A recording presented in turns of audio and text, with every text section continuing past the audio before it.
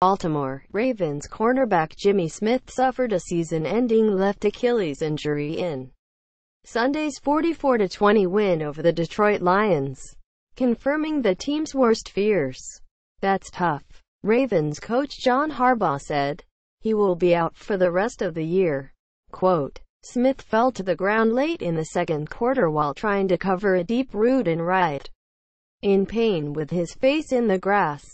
Harbaugh came out onto the field and could be seen telling him, I love you. Quote, Ravens cornerback Jimmy Smith had to be helped off the field Sunday after injuring his Achilles.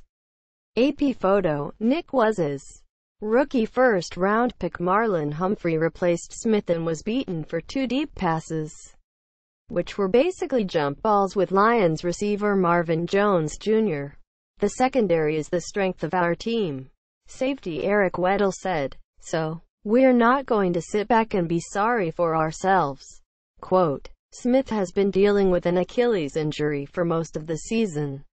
In an effort to rest it, he would practice only once or twice a week. Still, Smith was having what many considered his first Pro Bowl season. Through 11 weeks, he led the league with a 37 passer rating on passes thrown against him. According to Pro Football Focus, he has played at an all-pro level this year. Harbaugh said, quote, But, we have a lot of depth. We have a lot of good, young players. We'll step up, and we'll still play at a really high level in the secondary. I'm really confident in that. Quote,